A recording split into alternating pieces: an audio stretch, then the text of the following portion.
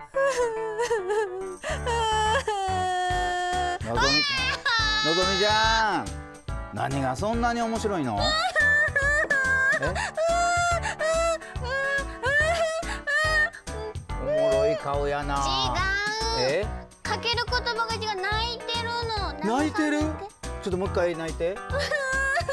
やっぱ笑ってるやん。違います。泣いてるんです。え？だってもう七夕過ぎたでしょ、うん。私の彦星はど年の夏も一人。今年の夏琵琶湖に行って彼氏と一緒に素敵なサンセットビーチ歩きたいじゃない？いやーまあそやけどまあまだ夏始まったばっかりやしね。夏はこれかな。うんせやけどまあすぐに秋来るしね、うん、ほんで冬になってまた春になるんで。でまた来年の夏来るみたいな。でまたここで泣いてるもうそんなねなんか琵琶湖のそんなビーチだなんだ言わんとねもうあのー、えー、比叡山行きなさいよ比叡山。比叡山？一人で、は嫌です。それ沢田研二のマネマスターに勝手に仕上がれって言いたいですね。おお、そうだ。いつものぞみちゃんいじめて本当にね。比叡山一人で行くの悪くないと思います。本当に？自分をこう見つめ直す意味でね。本当ですか？僕はい。一人で行ける勇気ないですけどね。ちょっとじっとしてたいな。そうだったら家で。一人で家で実地してたら、うん。ポチポチポチポチ一人で買い物しちゃいません、あ、そっか、そうか、そうしちゃうな。経済を回すっていう意味ではいいかもしれないですよね、うんうん。一人でお買いね、うん。はい。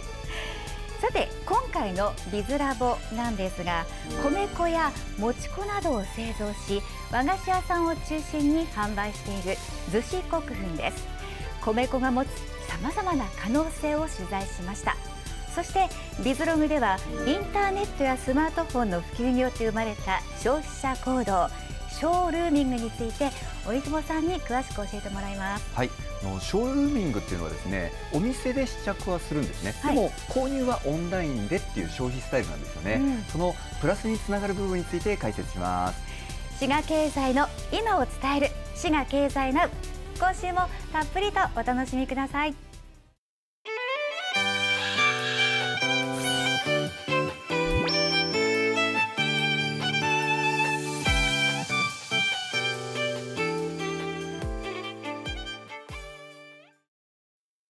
滋賀県内のさまざまな企業にフォーカスするビズラボです。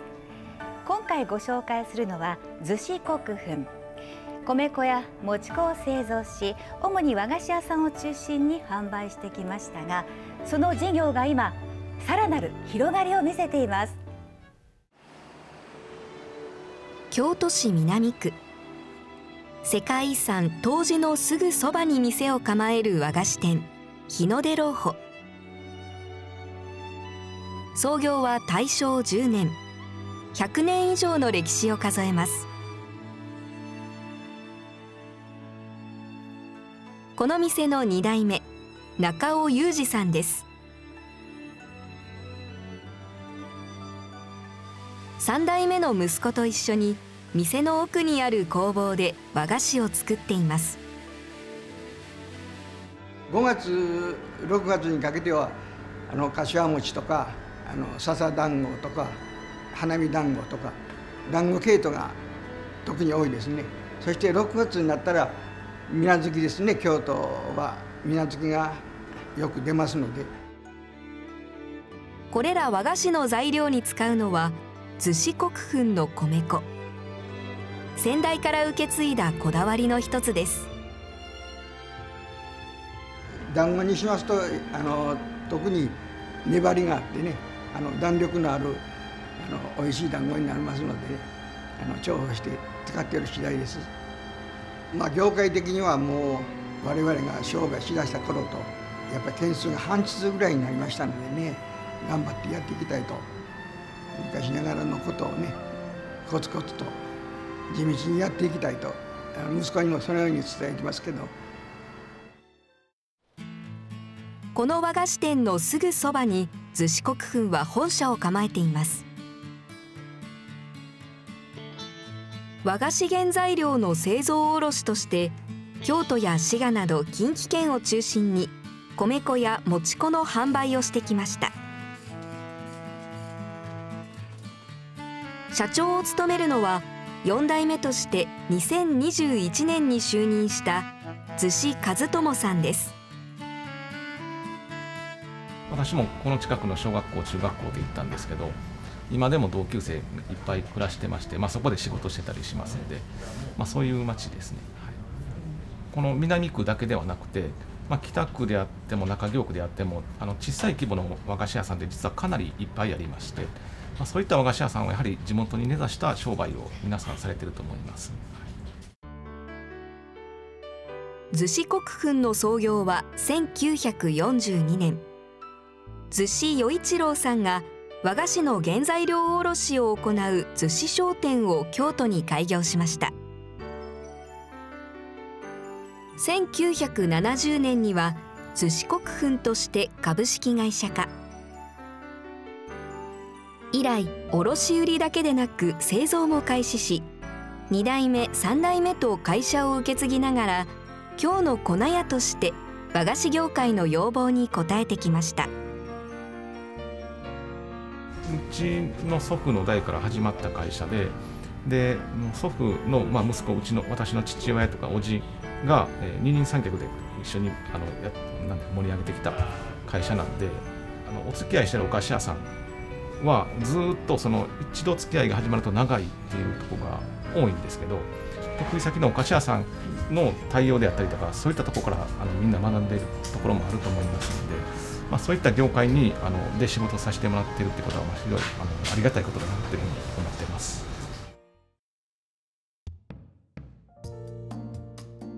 高さ432メートル。近江富士と呼ばれる安の三上山。この山のふもとに逗子国粉の製造拠点として1982年に開設されたのが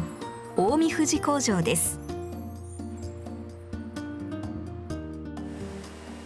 こちらでは滋賀県産を中心に仕入れたうるち米やもち米を昔ながらの方法で製粉。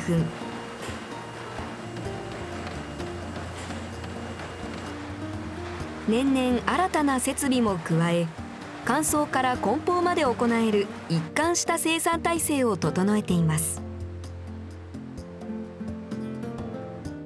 一言に和菓子と言いましてももっと言うとそのお団子と言いましてもえーと、地域によって求められる粉の質っていうのが全く違ってきますので、まあ、あの極端な話それぞれのお店に合った粉を作るっていうことを、目指してあの製品作りをしております。少量多品種になると全部を自動化させてしまうとそれができなくなってしまいますのでちょっと手間はいるんですけど手作業であの物を運ぶ部分っていうかのあえて残しましてそれであのいろんな種類の粉を作りやすい状態にしております。守るべきものなのは製粉方法ではなくてあの粉でできるあの質っていうのが大事なだけなんで、まあ、その機械にこだわってるわけではなくてその最終出来上がってくる商品でそれを使ってもらえるお客さんがどういったお菓子作りをしたいかっていうとこが一番大事なので、まあ、そういった意味で、えー、製造現場っていうのもどんどん変わっていって進化していきたいなというふうに考えてます。この近江富士工場にはもう一つ逗子国粉の強みとなる施設があります。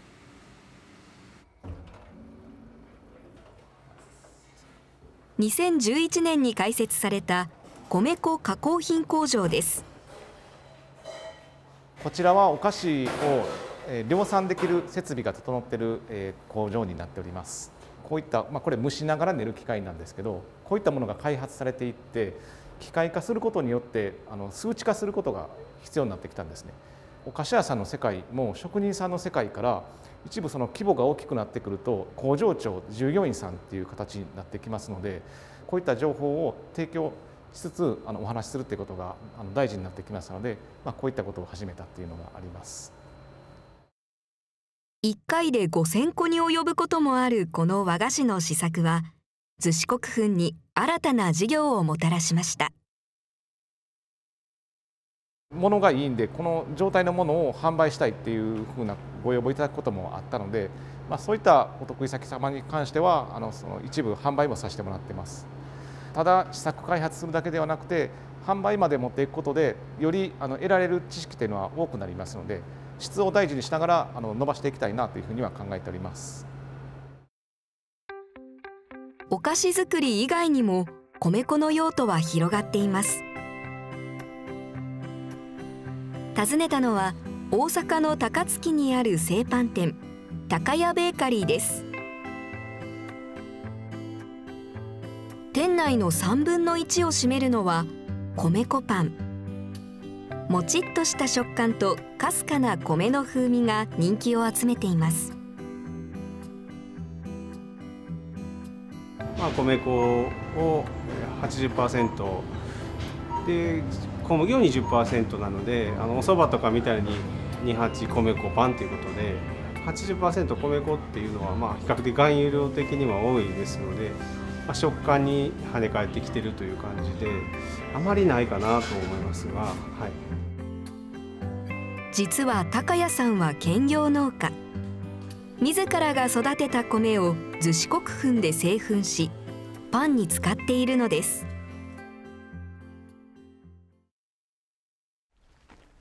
高谷さんが稲作をする田んぼへ。こちらがはい。さっきのパンの原料を作っているところです。合計2タンを水田しておりましてでそこでだいたい年間600キロちょっと取れるんですけど全面的に全部パン用に粉にして使っております。自ら育てた米で作る米粉パン。取り組みのきっかけとなったのは農業が衰退していく地域の姿でした。高齢の方が中心に守っていってますので、まあ、この先考えた時に、まあ、後継者問題とか出てきたりで有給農地が増加って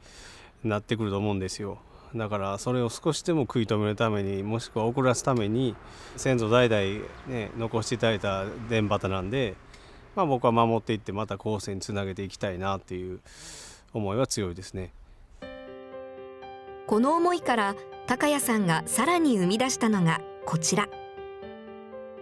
逗子国粉など企業とコラボし地域の米を製粉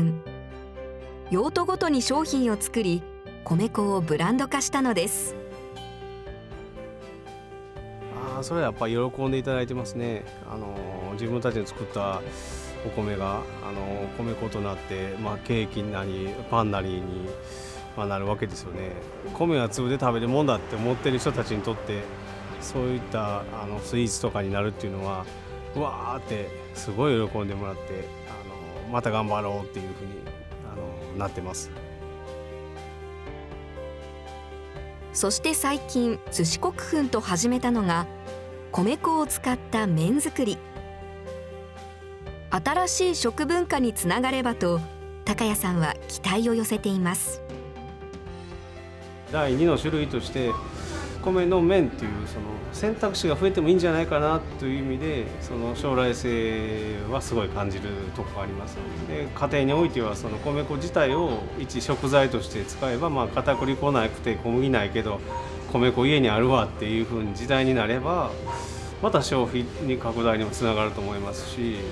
これからの可能性がある食材やなとは思います。逗子国粉はこの米粉が持つ可能性をさらに広げています。2022年に開発したゼリーの米粉という商品。お湯に溶かすとゼリーが手軽に作れる米粉で飲み込みに困難を抱える高齢者のための嚥下食と呼ばれる食品です。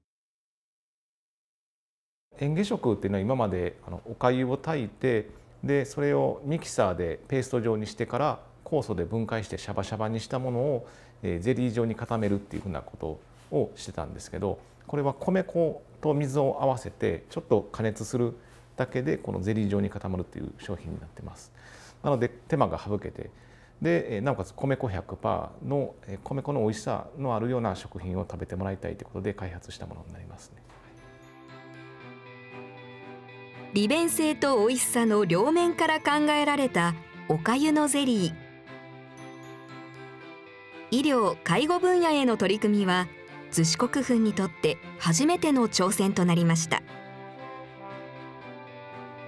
病院の先生方にご協力いただいてで実際飲み込んだ時の様子がどうなるのかっっていうところをあの医学的に検証された上で、まあ、商品化されているものになりますので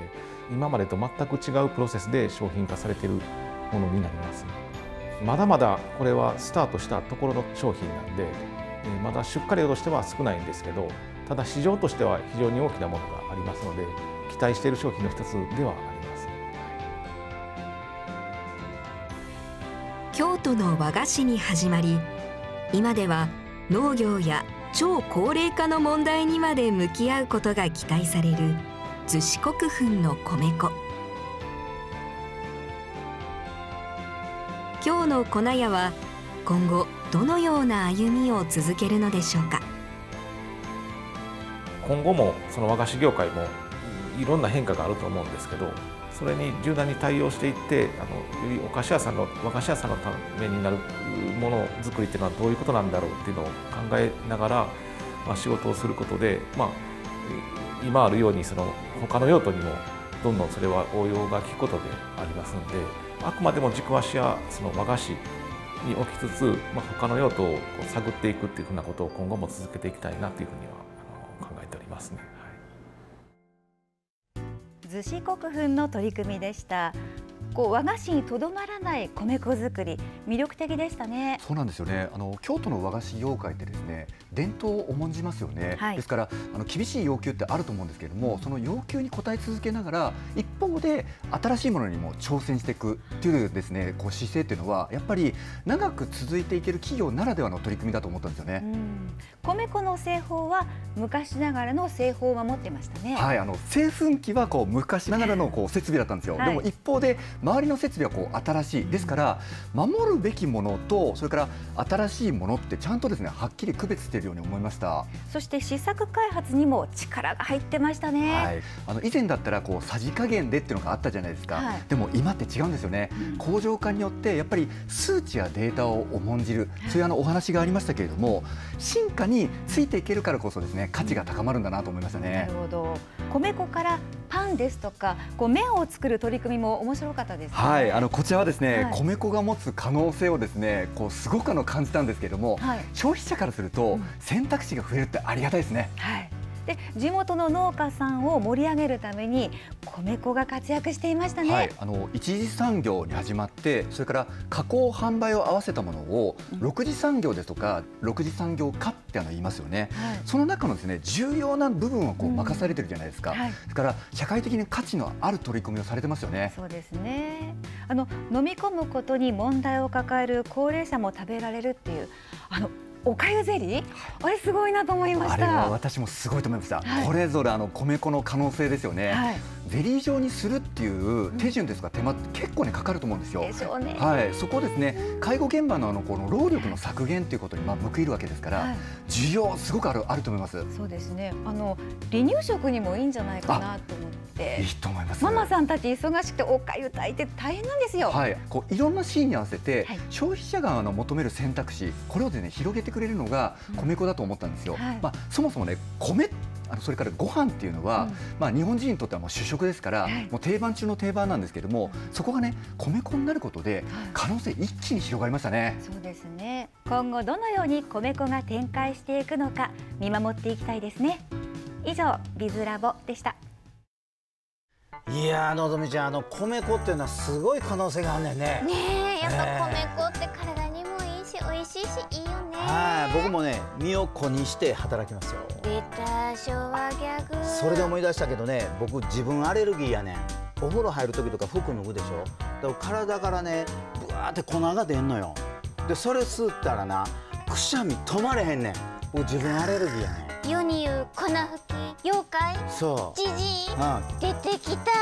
まあ、いや粉は粉でも私は米粉がいいです米粉と比べたらあかんと思う。まあなんかね粉の大事さも分かりましたけど。ね、さあ気を取り直してビズログいきましょう。はい、そうですね。はい、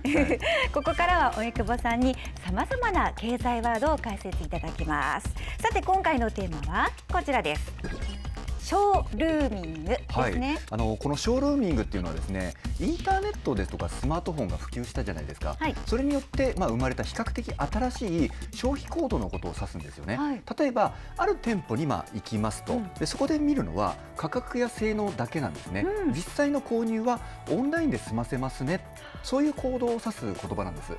なるほど。それがショールーミングなんですね、はい、よく言われるのが洋服を購入するときに店舗で試着をして家に帰ってからネットで買うっていう ちょっとお安い感じのを買うっていう、はい、それですか？うん、まあ誰しもが、はい。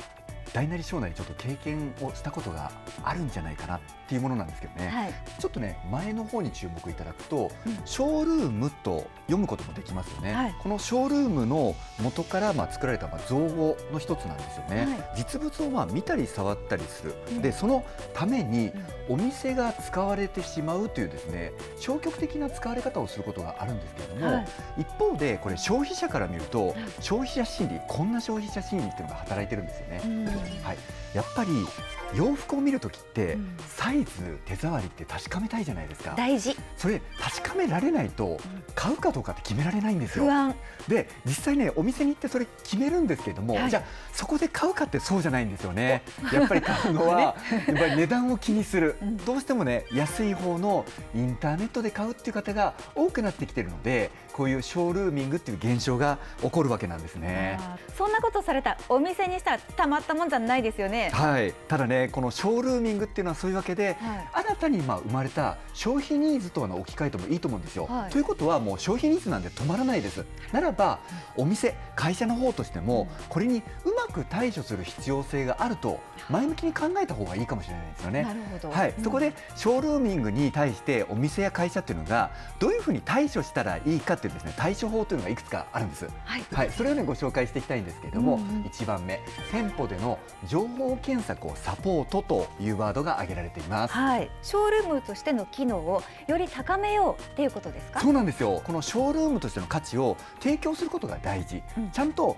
適切な対応をしていれば、そのお店で買おうかなっていう人が増えたりしますし、はい、リピーターにもつながりますよね。そうですね。はい。そして2番目もそれにあの関連してなんですけれども、はい、リアルな顧客体験の提供とありますよね、はい、これはですね、まあ、抜群のコーディネートを提案してくれる、うん、あるいは貴重なアドバイス自分では分からなかったようなアドバイスを提供してくれるのであればお店ってやっぱり価値があるなって皆さん感じますよね。そうですね、はい、店員さんのアドバイスでよし買おうって決めることよくありますよ。ありました。そして3番目はオンライン to オフラインと書いて O2O っていうんですね、うん、実はね逆でも捉えられることができるんでこれ例えばウェブでいい商品見つけた方だけにリアル店舗に行ったら何割引きですって割引チケットが出てくるんですよ、はい、だったらお店行く方増えますよね。で逆もあってですね、うん、お店に行った方に、うん、あのウェブオンラインでの登録をですね推奨するっていう行為。これもですねあの O2O の一つで、はい、オンライン登録すると、まあ、ポイントがまたたまりますよとかですね、はい、言われた経験があります。